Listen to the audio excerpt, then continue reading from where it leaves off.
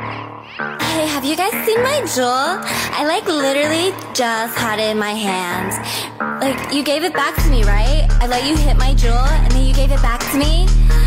You didn't take it, did you? You wouldn't do that to me. It's not okay. Where's my Juul? Where's my Juul? So not cool! Where's my Juul? Is that it? Right there? Behind the couch? It's not